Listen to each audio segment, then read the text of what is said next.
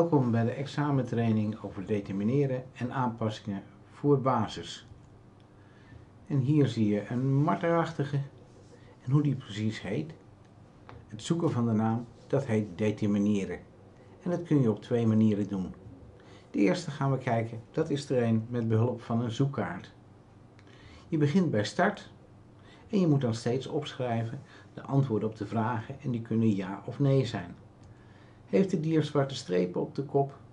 Dat is nee. Heeft hij zwemvliezen? Dat is weer nee.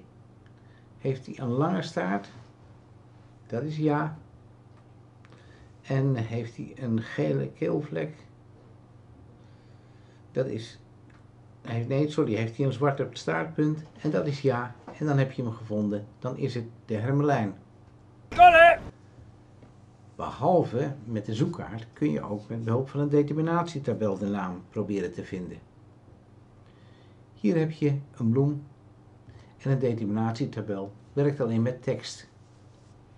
Je gaat eerst naar 1 en bij 1a zie je witte bloemen, 1b is gele bloemen, dus je hebt 1a, die schrijf je ook op op je antwoordblad. En dan ga je naar 2 en dan kies je 2b, de plant heeft witte bloemen met de vorm van een paraplu-scherm. Dan moet je naar 4.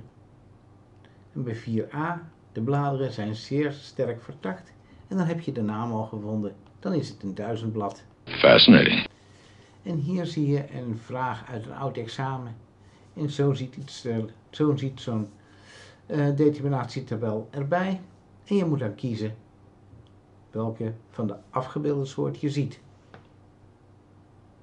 We gaan naar aanpassingen.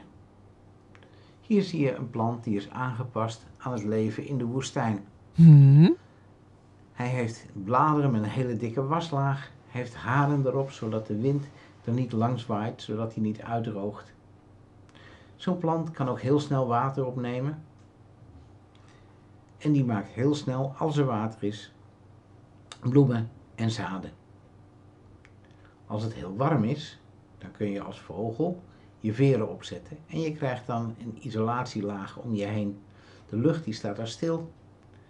En zo kun je het oud houden in de hitte. Een van deze vossen leeft in de hitte en de andere niet. Links kun je zien hij loopt door de sneeuw, maar ook als je dat niet kon zien, kon je wel zien dat dit dier voorkomt in een koude omgeving. Hij heeft namelijk hele kleine oren, terwijl de woestijnvos hele grote oren heeft. De poten van de poolvos zijn ook veel korter en van de woestijnvos zijn ze veel langer. Zo krijgt hij een groot oppervlak en kan hij goed zijn warmte kwijt. De vacht is dun bij de woestijnvos, dik bij de poolvos en natuurlijk is die ook wit van kleur. Heel raar, hele rare wending. Links zie je plooikiezen. Grote richels zie je daarover lopen en die gebruik je als je plantaardig voedsel eet. En rechts de hoektanden en de knipkiezen, dan weet je dat je te maken hebt met een vleeseter.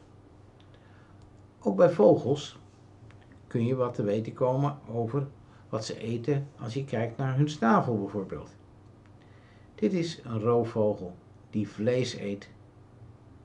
Met die haaksnavel kan hij de stukken vlees losscheuren. Dit is een gans die water zeeft. Hij heeft dan ook een zeefsnavel. Het water spuugt hij weer uit. En de kleine beestjes blijven in zijn snavel zitten. Die kan hij opeten. Dit is een insecteneter. Met die puntige snavel kan hij de insecten goed beetpakken. En dit is een vogel die zaden eet. Met zo'n stevige snavel kun je die kapot krijgen. Maar ook de poten vertellen wat. En dit is een poot van een roofvogel. Met die scherpe klauwen kan hij zijn prooi grijpen, doodknijpen. En dit is een poot van een eend, maar ook de gans heeft er zo een, met zwemvliezen, waarmee hij snel kan voortbewegen door het water. En dit is een poot waarmee je op takken goed kunt zitten. Yeah, no shit, Sherlock. Dan heb je nog camouflage. Want je moet heel goed kijken om deze panter te kunnen zien.